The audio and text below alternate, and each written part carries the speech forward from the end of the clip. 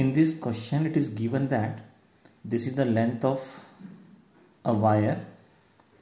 and the force is applied. Let the total length is L. After applying some force downwards so change in the length and the length is now del L. Suppose the cross section of area is given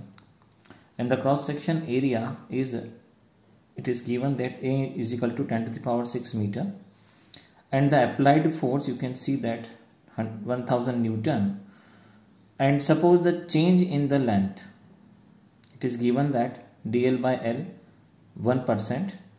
so we have to find young modulus so हमें क्या find करना है हमें find करना है young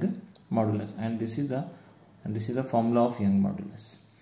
fa divided by dl by l so all the data is given now fa by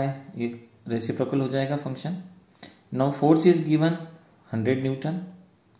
area is given 10 to the power minus six here this is the area is given now one percent we convert into one upon thousand that means ten to the power three so reciprocal होने के कारण ये ten to the power three ऊपर चला जाएगा. So entire value ten to the power six और ये denominator वाली भी इंटू हो जाएगी. सो टोटल यंग मॉडुलस जो निकल के आएगा वो हमारे पास आएगा Y equals to ten to the power twelve newton metre square